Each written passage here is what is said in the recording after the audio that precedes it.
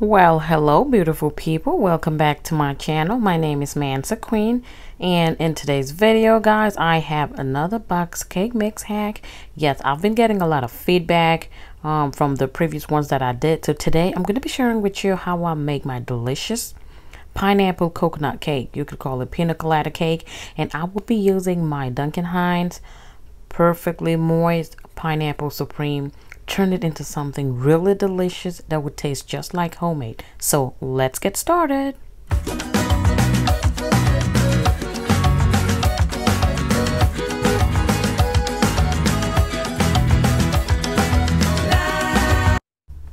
For a box cake mix hack, of course you would need one box of cake mix and you'll want to use a pineapple flavored box cake mix.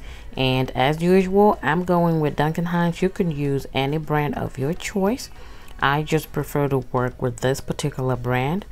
And this is what it looks like. Just one box you need and the instructions on the back. As usual we are not going to follow it. So please stay with me and let's revamp this recipe so the recipe calls for three eggs and if you've been following any of my box cake mix hacks you know that I always add an additional egg to boost up that richness in the box cake.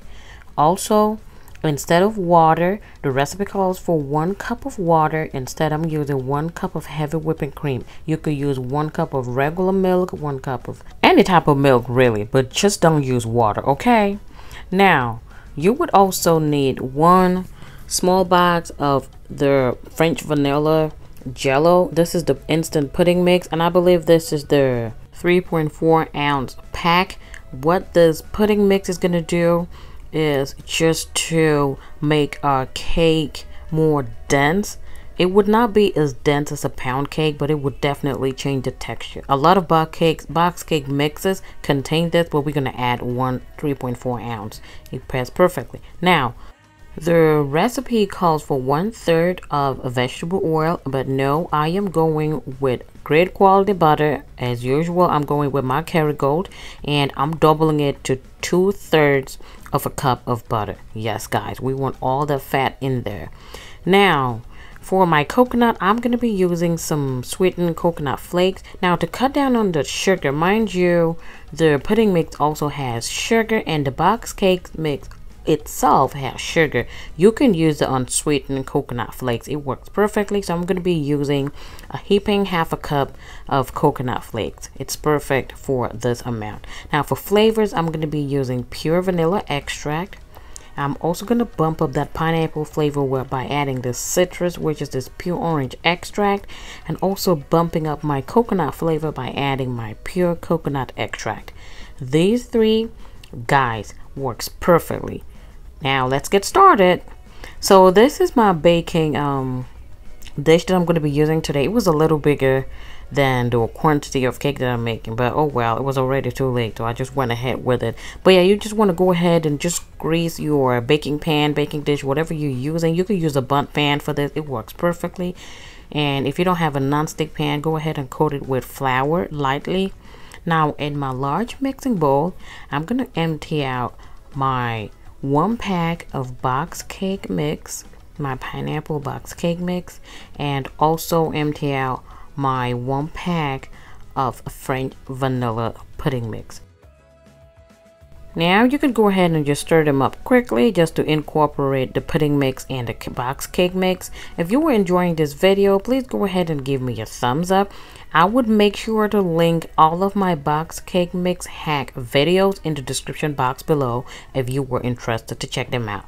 Now, it is now time to add my one cup of heavy whipping cream. Look at how creamy and thick that looks. And I'm also adding two thirds cup of melted butter at room temperature. Very important, guys.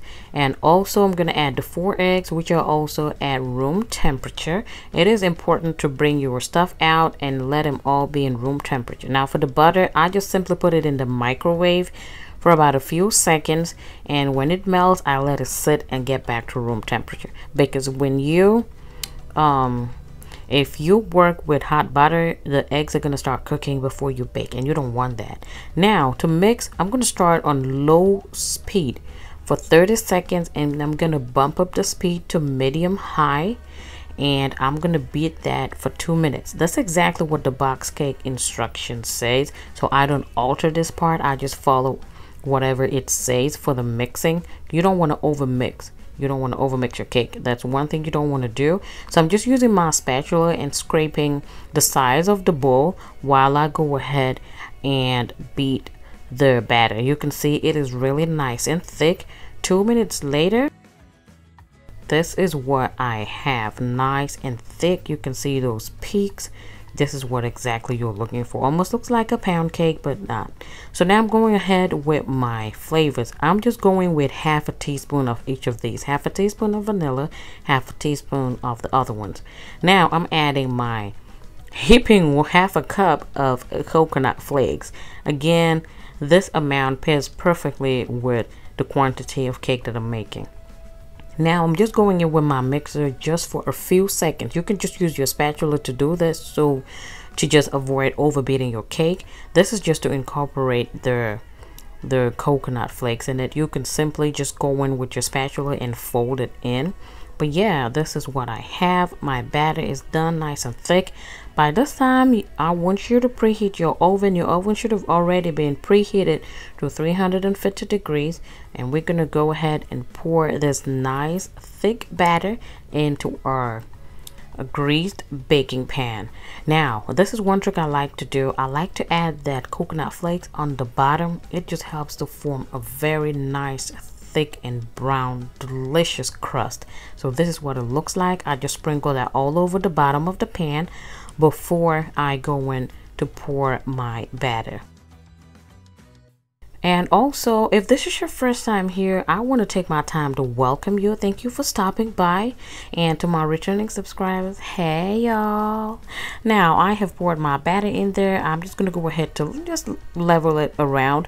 Just make sure that it is not one-sided. No big deal over here. Pop it, drop it as usual. Make sure you release them air bubbles and into a hot preheated oven it goes. We are baking at 350 degrees. Now for this quantity, it says to bake it at 35 minutes. If you put in your skewer in the middle or a toothpick, it should come out dry. And if it's not, due to all the extra ingredients that we put in, you might want to put it back in for an additional five minutes. So make sure you check that before you eat, eat it. Okay, so this is what it looks like fresh out of the oven. Can you see that? Beautiful crust. Looks beautiful. You can see it. And now I'm to let it sit down. And it has already cooled off for about 20 minutes. You always want to let it sit. So it's now cool to the touch. I'm to go ahead and get a thick slice so we can see what it looks like. Nice, easy, moist, delicious. You can see the crust on the sides. Guys, let me tell you if you are a lover of them tropical um, flavors, pineapples, coconuts, this is your go-to cake. It is nice, delicious, and I do hope you get to try it. This is it, nice and up close and personal. I want to thank you guys again for always stopping by. Feel free to share my videos with any of your friends and family. Tell them about Mansa Queen. Come join the family. We all have fun over here, good food, nothing but good vibes. Now, just to make it look a little more presentable, I'm just going to go ahead and sprinkle some coconuts, baby. Yes, it is tropical and we're going all the way, honey. Mm-hmm. Now, thank you so much for watching. Until I catch you in my next one, I want you guys to really stay safe. And if you do have any cooking hacks that you want me to uh, share with you, you can let me know. In the meantime, like I mentioned earlier, I'm going to link um, the videos to this chocolate cake box mix that I did, this particular French vanilla cake that I did, this delicious lemon cake that I did, and you guys can entertain yourselves with that. I will see you in my next one. Bye, y'all.